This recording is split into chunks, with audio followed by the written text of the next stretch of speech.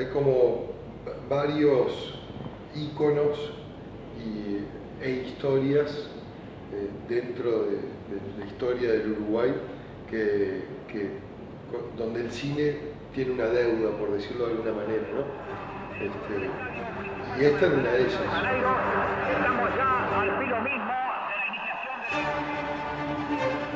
En realidad viste que hay cosas este, que vos decís, si yo tratara de ficcionar esto no lo podría hacer, porque lo que estoy viendo supera toda mi capacidad de poder exponerlo. Entonces, si yo lo, convirtiera en ficción, hasta parecería artificial.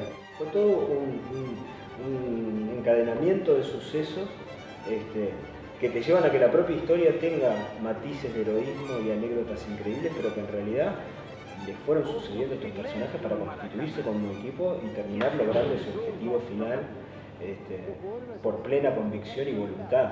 Lo que se trata de hacer también en esta película es llevarte a esa época que vos puedas vivir esa época.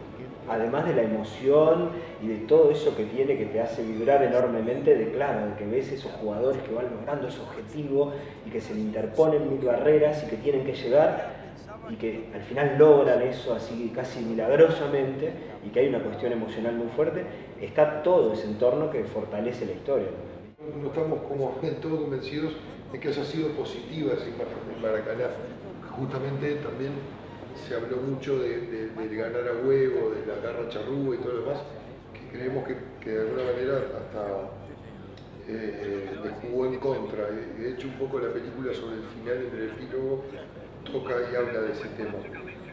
En Brasil, sin embargo, en principio lo toman con humor, porque como les pasa aparte ahora con el Mundial muy cerca y con Uruguay ya clasificado, es un tema que está ahí latente, pero, pero lo tienen muy bien procesado. Creemos que también, o yo creo que es por las cinco copas que ganaron luego de eso, ¿no? que para nosotros eh, justamente esa cuestión que se mitificó porque hace muchos años y nunca más volvimos a llegar a, eso, a esa gloria, para ellos es, o sea, son los pentacampeones. No, y cada sociedad procesa sus logros y sus fracasos de una forma determinada.